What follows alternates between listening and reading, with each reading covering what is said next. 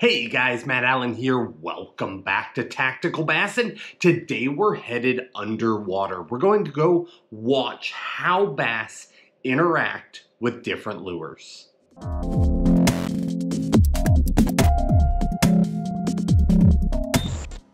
There's always so much information to be learned watching bass interact with lures and with one another underwater. It's unbelievable what you can take away from that. Uh, today, I have selected a handful of clips, all for different reasons. They all highlight something about a bass's behavior. Maybe it's their brutality. Uh, maybe it's how they interact with one another while hunting. Maybe it's just the way that they eat a particular bait. But I've chosen each one of these clips so that we can look at an aspect of bass behavior. This first clip, this is one of my all-time favorite clips. This bass is hunting a whopper plopper in open water. This bass is over seven pounds, and it truly just highlights the pure hunting ability of a largemouth bass.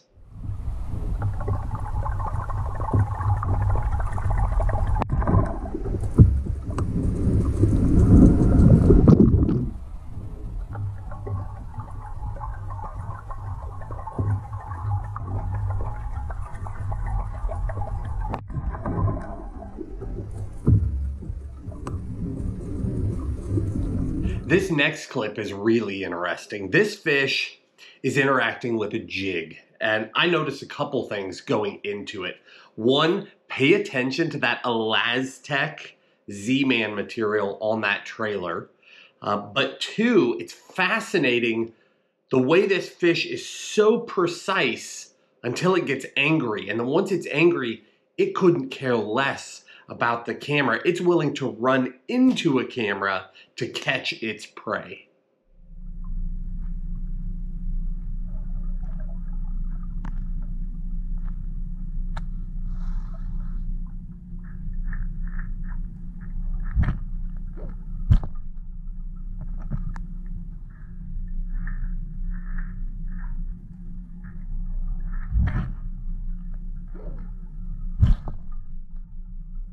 This next clip is one of the most interesting things Tim and I have ever captured underwater. We didn't even know that this happened at the time. We just saw the topwater bite.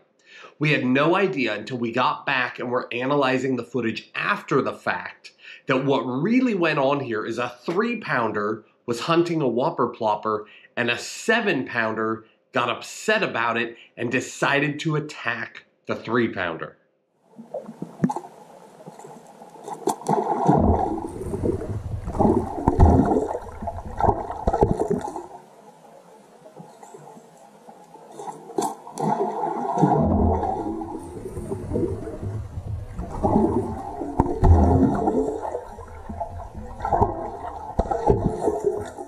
This next clip is interesting because it really highlights that cat and mouse game between a bass and its prey. This little TRD Crawz minding its own business. The bass is casually watching, but as soon as that Crawz makes a move to escape, that's that bass's moment.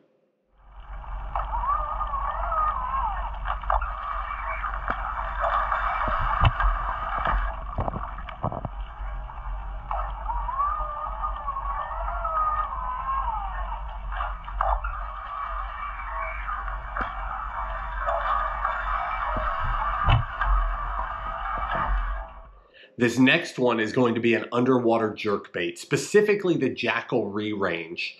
Here, I want you to pay attention to the flash coming off the bait because we talk a lot about flash with our jerk baits and how throwing light can pull fish to the bait.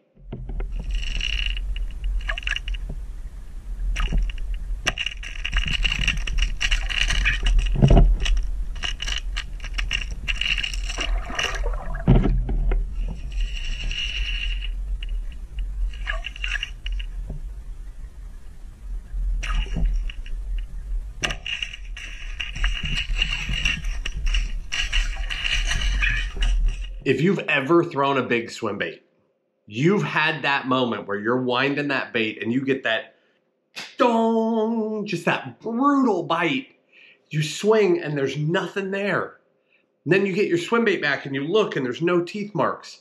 But you notice little tiny teeth marks up on the head. And a lot of us have wondered, what is that? How does that happen? This next clip explains that. This bass is headshotting a Huddleston 68, hitting it right in the face. And this fish is truly impossible to hook.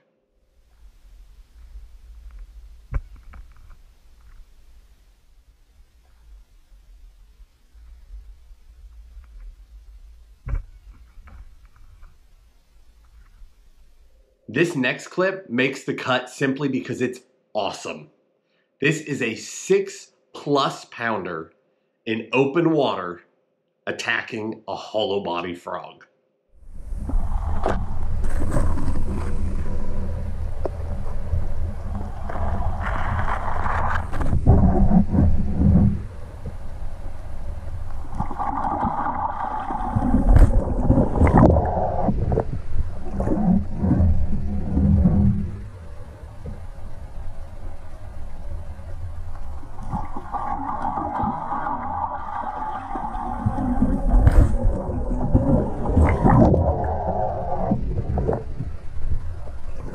This next one, this is the TRD BugZ, and you're watching a smaller spotted bass. Spotted bass are just little snipers. I mean, they are so good at what they do. They're such effective hunters and feeders. This fish, the moment that little craw gets to the bottom, he's on it.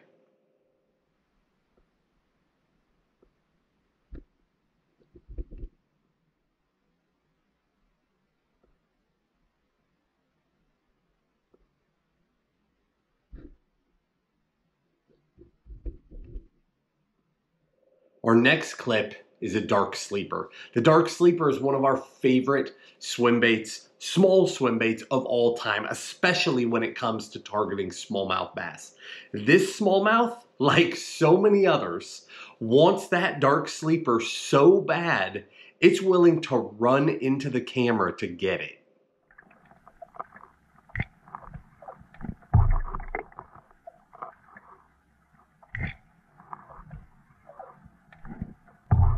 This next clip is looking at the interaction between a bass and a bluegill, specifically a Savage Gear RTF bluegill. This bass comes in, scoops that bait up, and while you would think that swim bait would be too much for that bass, in two gulps, it's gone.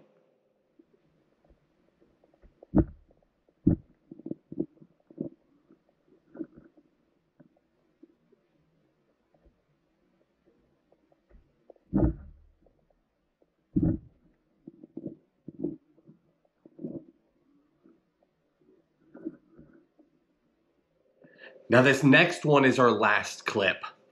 I've watched this clip countless times through the years, and I'm still not 100% which bass actually got the top water.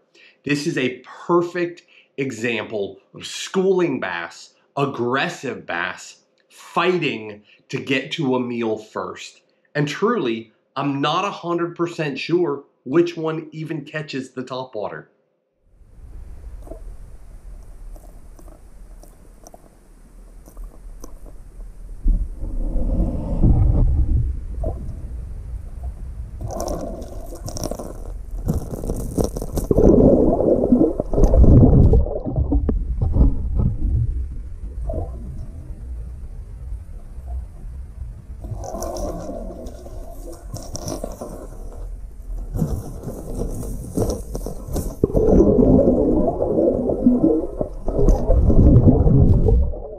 hope you guys enjoyed these clips. You know, the, the winter cold has settled in.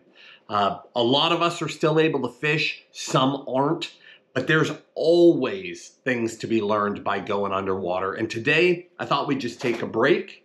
I pulled some of my favorite clips, and I'm sure now that you've seen them, you understand why some of those are my favorites.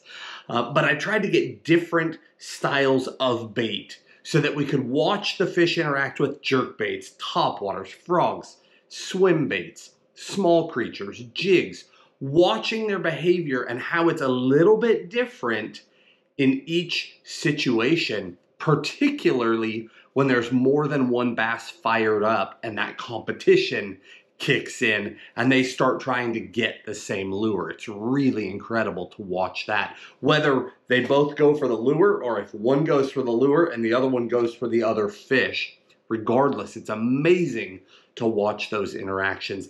Guys, in the video description, I'll link all the baits that were in the video in the order that they appeared. So if there was something there that was interesting to you, you know, a particular color, we'll link the bait and the color, the trailer, those sorts of things in the order that they appeared.